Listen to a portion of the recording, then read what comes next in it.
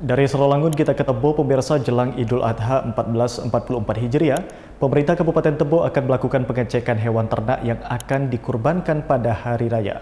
Ternak yang belum diperiksa tidak akan dianjurkan untuk dipotong. Jelang Hari Raya Idul Adha 1444 Hijriah, pemerintah Kabupaten Tebo akan melakukan pengecekan kesehatan hewan ternak yang akan dikurbankan. Penjabat Bupati Tebo Aspan menegaskan, bagi pemilik ternak yang tidak mau dilakukan pengecekan kesehatan tidak akan direkomendasikan untuk dipotong karena dikhawatirkan tidak sehat. Kuku dan mulut masih ada, ini perlu dilakukan pemeriksaan dan kita akan uh, turunkan nanti dari pihak peternakan untuk mengecek sapi-sapi yang akan dipotong untuk korban untuk diberikan rekomendasi. Jadi sapi yang tidak dapat rekomendasi ini tidak akan dilakukan pemotongan.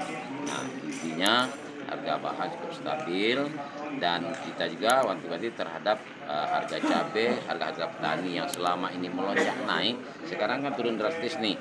Nah, bagaimana kita berupaya agar yang petani juga nanti terlalu anjlok sehingga harga jual mereka tidak kembali Kemudian data dari Dinas Perkebunan, Peternakan, dan Perikanan atau Bunakan Kabupaten Tebo, ada 3.910 ternak yang akan dikurbankan pada tahun ini.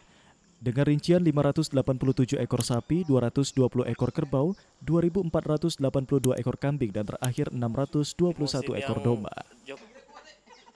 Arif Rizal, Jambi TV.